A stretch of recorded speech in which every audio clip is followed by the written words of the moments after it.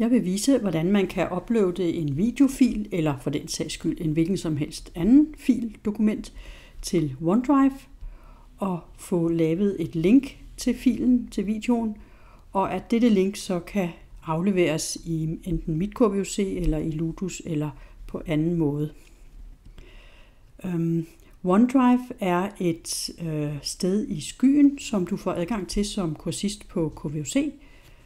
Øh, der er ubegrænset, stort set ubegrænset plads, så her kan du lægge en masse dokumenter. Og så længe du er kursist ved KVUC, ja, så har du øh, dine dokumenter liggende urørt her. Øh, det smarte ved at uploade videoen til OneDrive og aflevere et link, i stedet for at aflevere selve videofilen, det er, at videofilen kan nogle gange være meget stor, og så kan det være svært eller umuligt at få lov til at aflevere den inde i mit KVC. Øhm, så derfor så kan man altså bruge den her metode, hvis ens video er meget stor, eller hvis det er sådan afleveringen skal foretages. Et alternativ til OneDrive, det kunne være øh, YouTube. Øh, oprette en øh, konto på YouTube, og så kan man øh, lægge sin video ind i YouTube og derefter aflevere et link. Øh, på YouTube er den måske ikke helt så privat, som den er i OneDrive. OneDrive det er dit private sted i skyen, og du har selv Øh, styr på, hvem du giver adgang. Men lad os komme i gang.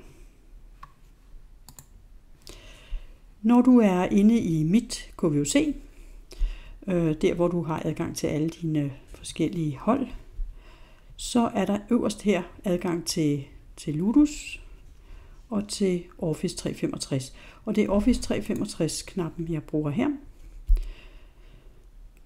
Det her, det kan godt lige tage et øjeblik og få, få adgang.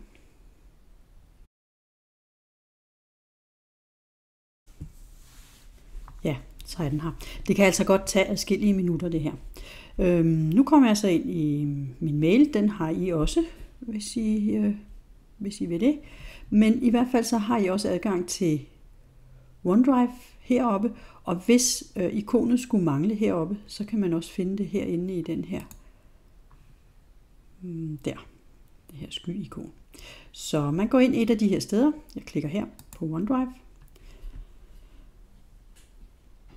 og så kommer man ind til sine filer og mapper. Øh, hvis det er første gang, du er her, så er det jo helt tomt for dig.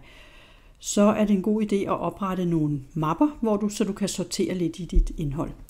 Jeg har oprettet en, øh, en mappe til videoer, så der går jeg lige ind.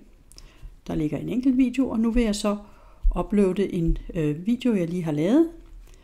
Og jeg trykker altså på upload. Så skal jeg lige finde den.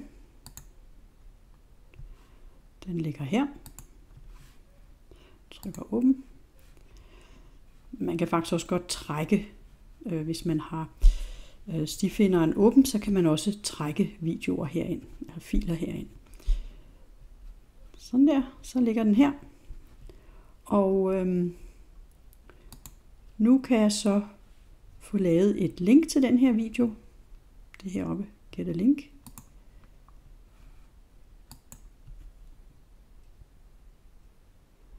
Sådan, så er der blevet lavet et, et link. Hov, fik jeg ikke lige kopieret det. Nå, må gøre igen. Uh, her er linket, og jeg trykker på copy for lige at kopiere det. Og så kan jeg gå ind og aflevere det i en afleveringsmappe. Nu er jeg gået ind i øh, en mundtlig aflevering her, øh, en, øh, en opgave i mit KVC, og jeg vil besvare opgaven. Så kan man jo, hvis ens video ikke er alt for stor, så kan man aflevere selve videofilen her. Mm. Men nu har jeg jo lige fået, øh, fået et link til videoen, så det er den, jeg afleverer her. Det kan man gøre i den her online tekst. Så jeg siger bare indsæt. Og så kan jeg lige øh, markere og indtaster. Igen kan jeg lige indsætte og måske også åbne et nyt vindue. Sådan. Så skulle den være her. og gem ændringer. Sådan. Og så ligger linket her, og hvis man trykker på det, så åbner, og nu bliver, så åbner videobesvarelsen. Så sådan kan man gøre det.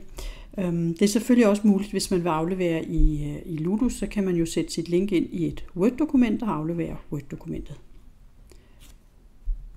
Ja, det var det.